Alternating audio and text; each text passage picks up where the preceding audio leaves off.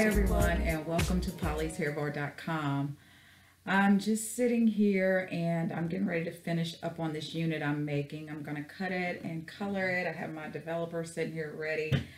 But before I get into my creative process, I thought it would be a good time to stop and take a break and have a glass of wine. So that's what I'm going to do, and I'm going to share with you the wine that I'm drinking so that I can get into my creative process to finish this piece. I've already started this last night drinking this, but um, I'm going to finish it today. This is Barefoot, and it is a sweet red blend. So what that tells me is that um, there's some fruit or something in here that's blended, and it is. It is black cherry and plum. Now, um, I did go ahead and start drinking this last night. It is um, on the medium side, so it's not too sweet, it's not too dry, it's just right in between those two, um, which is a good mix for me because I do like dry red wines. Um, when we get into the white wines, I love a sweet white, not a dry white, but reds, for some reason I like dry red wine.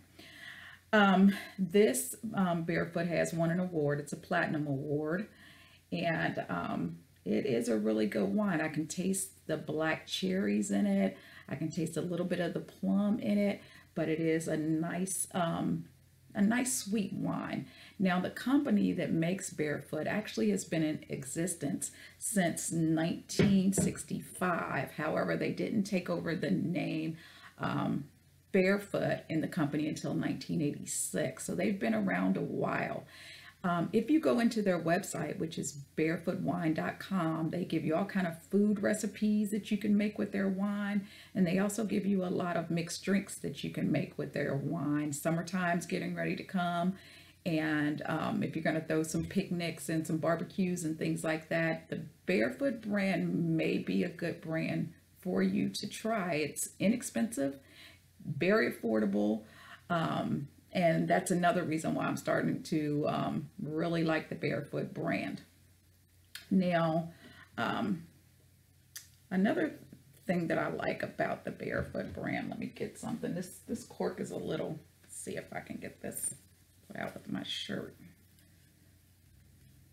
Yes. The Barefoot brand, I already did this have foil on it. It is corked. Have my foil cutter, corkscrew, and of course, I love my pour to go in.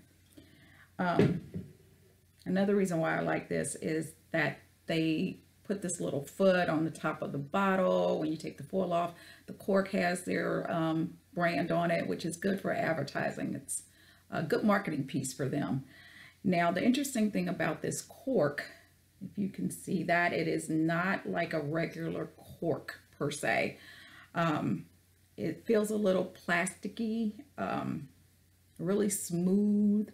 And that's because in 1981, um, there was a chemical that in the cork that was being, um, that tainted some of the wine. You would get a really smelly, like um, moldy type, mildewy type um, taste and smell to the wine and it was because the cork had something in it called TCA and that TCA was tainting the wine. So they started um, using um, glass stoppers these type of plastic stoppers um, screw caps things like that so that the wine wouldn't get tainted. Um, I don't know if you have to worry about that too much anymore Portugal is one of the biggest leaders in the industry of making the corks. And there's actually like 20 billion stoppers made every year, whether it's a cork, whether it's this plastic, whether it's a screw top. So this is a billion dollar industry. Um, one of you geniuses out there might want to come up with a different type of stopper for some wine. Who knows? Um, but um, it's interesting that Barefoot is taking protection um, over their wine and putting something different in it than an actual cork. Um, there is um, some concern though because when wait, um, wine, sorry about that, when wine is aged, it actually um, is aged better with a real cork in it. So this wine here is not aged, so you really don't have to worry about it. Um, but if you run into that, um, like I said, if it has a funny smell or something or a funny taste to it, take it back to the store, pour it out, whatever you want to do with it. Um, I don't think it's going to hurt you if you drink it. It may make you a little sick, but um, we'll get into that more as we get into wines from France and Portugal and things like that. Um, I'll talk about the corks in a little bit more depth.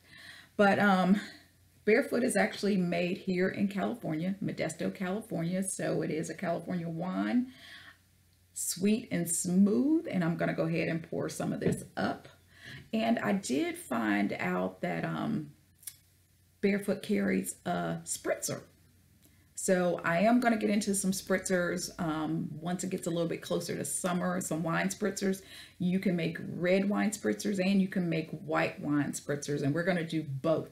I'm going to give you a heads up on that if you want to try some of the spritzers out with me. And I'm going to buy a bottle of the Barefoot spritzer that's already made up and um, try that as well and let you know how I like that. But I'm going to go ahead and pour me a glass of this wine here. Now, when I say I'm going to pour a glass of wine, five to six ounces in your glass, not half full. This is about a five ounce glass of wine here. Okay. So let's see what it tastes like. I already know, but you know.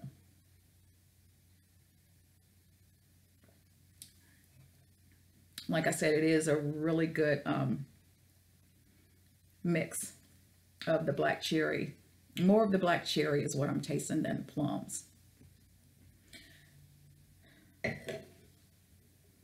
Now, let's see here. I also wanted to tell you guys that this wine pairs good with um, flank steak, grilled vegetables, spicy um, treats, mm, like Grippo potato chips out of Cincinnati. But tonight I am actually having it with quiche. And this is cheese and broccoli quiche.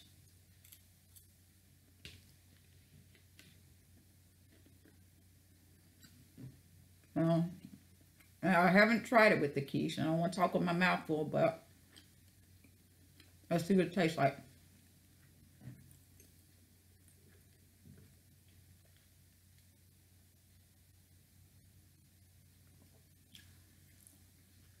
Very good.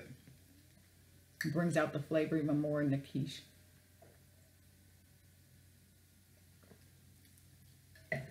Now, I did put this wine in the freezer because I wanted to serve it very cold. When I'm drinking sweet reds, I have to have them ice cold.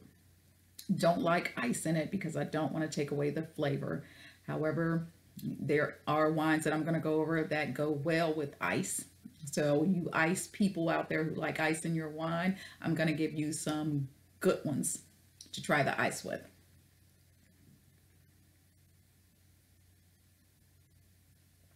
Very good. So I just wanted to share that with you.